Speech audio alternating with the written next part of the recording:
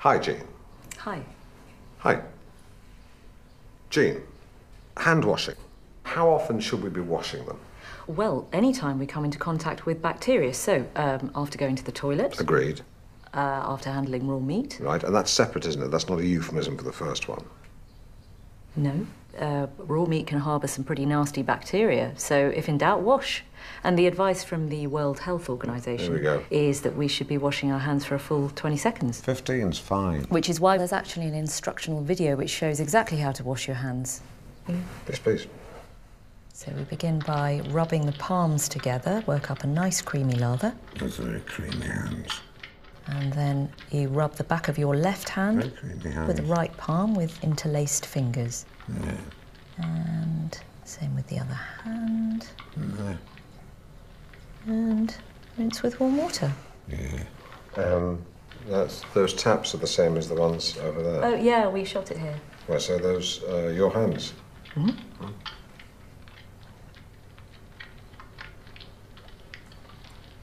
I could just demonstrate right here in the lab if you want. No, no, no, we, we, mustn't.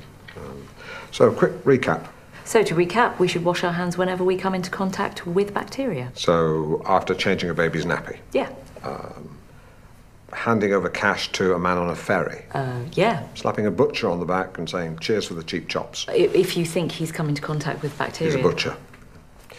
Uh, anyway, from hygiene to hygiene. And I don't think there can be any greater tribute to your own personal hygiene than saying, put it there. Do make sure that you're clean handed. Uh, the importance of cleanliness there.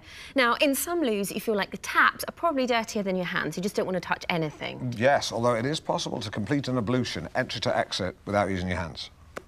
I'm not sure how you do that. It's simple. Uh, you're in a corridor, on a train, you find the loo, it's green, we're on. Drop a thigh, elbow down to open, thigh budge, round and in, thigh to close, wrist to lock, turn, lid up, seat down, and paper, paper, paper, tear, rent, place, turn, squat, paper, paper, paper, tear, complete, turn, feed paper back into bowl, and flush.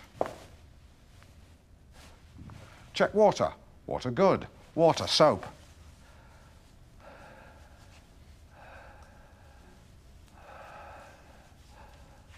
Air.